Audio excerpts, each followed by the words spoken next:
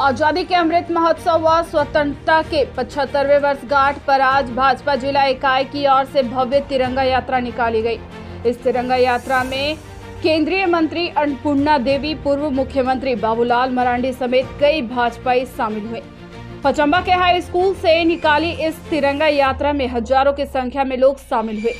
लोग बाइक से हाथों में तिरंगा लेकर शहरी क्षेत्र के विभिन्न मार्गों का भ्रमण करते हुए बड़ा चौक स्थित महावीर मंदिर पहुँचे। इस दौरान पूरे रास्ते में देशभक्ति गीतों की धुन पर युवा वर्ग थिरकते हुए नज़र आए। इस बाबत केंद्रीय शिक्षा मंत्री अन्नपूर्णा देवी ने कहा कि भारत की स्वतंत्रता के 75वें वर्षगांठ के अवसर पर आज़ादी के अमृत महोत्सव के रूप में भारत मना रहा है। भारत के यशस्वी प्रधानमंत्री श्री नरेंद्र मोदी जी के देश प्रत्येक नागरिक को देशभक्ति के रंग में रंगना चाहते हैं। और युवाओं में खासकर यह भावना जागृत करते हुए यह तिरंगा यात्रा निकाली गई। उन्होंने सभी से अपने अपने घर में तिरंगा लगाने की अपील की। वहीं पूर्व मुख्यमंत्री बाबूलाल मरांडी ने भी लोगों से अपील करते हुए हर घर तिरंगा अभियान को सफल बनाने की बात कही। घर तिरंगा कार्यक्रम जो आदरणीय प्रधानमंत्री जी के द्वारा आहूत आज़ादी के अमृत महोत्सव के अवसर पर कि हर भारतीय अपने घर में तिरंगा ज़रूर लहराए। इसी के निमित्त आज का कार्यक्रम युवा मोर्चा की ओर से आयोजित किया गया था, तिरंगा यात्रा। और बहुत ही सफल कार्यक्रम रहा।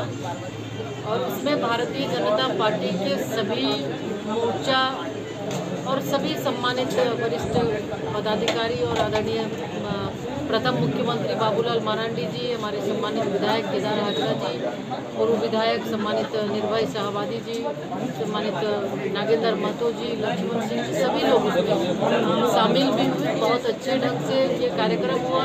युवाओं में बहुत ही उत्साह था जोश था और निश्चित रूप से भारत माता के सपूत हैं। तो हर किसी के अंदर ये एक जोश जज्बा हर घर तक पहुँचे। ये आज़ादी की लड़ाई में जिस तरह से हमारे जो देश प्रेमी थे, बहुत ही अनसंग हीरोज थे, जाने और अनजाने, बहुत सारे ऐसे लोग थे जिन्होंने पीछे अपने परिवार की ओर मुड़कर नहीं देखा और देश को आज़ाद करने में अपना सब कुछ न्यौछावर कर दिया। हम उन्हें भी याद करेंगे। वैसे अनसंग हीरोज को भी इस आज़ादी के अमृत महोत्सव के अवसर पर याद कर, याद करना है, उनके बारे में भी हम गोष्ठी करेंगे, कहीं आसपास में बैठ के लोगों को ये जानकारी भी देंगे, बताएँगे भी, और हर घर तिरंगा के अभियान के तहत हर घर में तिरंगा फहराने के लिए भी लोगों से आग्रह करेंगे, अनुरोध करेंगे कि वो लगाएँ, क्योंकि ये सम्मान का प्रतीक है, गौरव का प्रतीक है, और हम भारतीय हैं, इसलिए निश्चित रूप से हम अपने घर में तिरंगा लगाएँगे।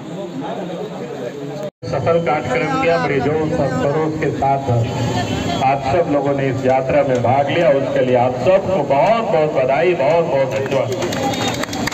और मैं आप सब लोगों से निवेदन ये भी कर रहा हूँ, जैसे अभी आपको बताया मंत्री जी ने, कि अगले पाँच दिनों तक, यानी जिस प्रकार से आपने जिला के मुख्यालय में आज जो शोभा ये क्या कहते हैं तिरंगा यात्रा निकाले। उसी प्रकार से कल है, परसों है, आप मंडलों में भी आप सब लोग मिलजुल करके इसी प्रकार से निकालेंगे। और गाँव गाँव जा करके ताकि लोगों के अंदर में एक जागृति पैदा हो लोगों के अंदर में। और इस बात को हमें बताना कि हमने तीस बार घर घर तिरंगा झंडा लगानी, फहरानी है।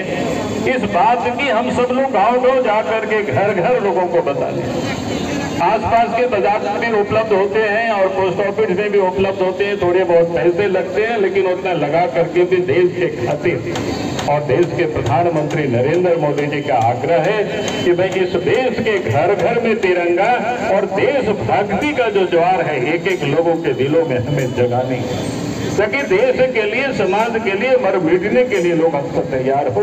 ऐसे भारत को हमें तैयार करना है। ये मैं आप सब लोगों से यही निवेदन कर रहा हूँ, यही अपील कर रहा हूँ।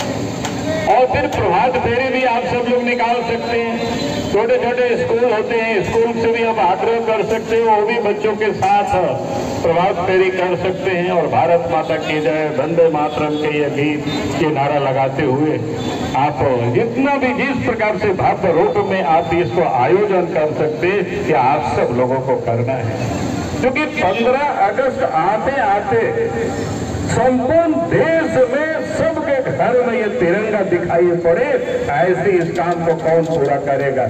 हम सब लोगों को मिल करके करना है। इसलिए मैं आप सब लोगों से यही निवेदन कर रहा हूँ, यही अपील कर रहा हूँ। और 15 अगस्त को तो आप सबको पता है ये झंडा तो आपको पहले 12 को भी 13 को भी 14 को भी आप घर घर में लोगों से लगवाना। और 15 अगस्त को तो जहाँ जहाँ सार्वजनिक जगह होते हैं, वहाँ आप सब लोग झंडोत्तोलन करते ही हैं। तो उसके लिए हमें बताने की कोई ज़रूरत नहीं है। लेकिन इतना काम हम सब लोगों को निश्चित रूप से करना है और गिरिडीह जिला के कार्यकर्ताओं से हमारा विशेष आग्रह है कि गिरिडीह दिखे कि पूरा झारखंड में सबसे अधिक घर घर में तिरंगा दिखाई पड़ना चाहिए। उसके लिए आज से लेकर के आप सब लोगों को 15 अगस्त तक इस काम को करना है। यही निवेदन मैं कर रहा हूँ। विशेष कुछ तो हमारी ओर से कहना नहीं है इस वक्त। आप सब लोगों ने जिस उत्साह जोश साथ यहाँ पर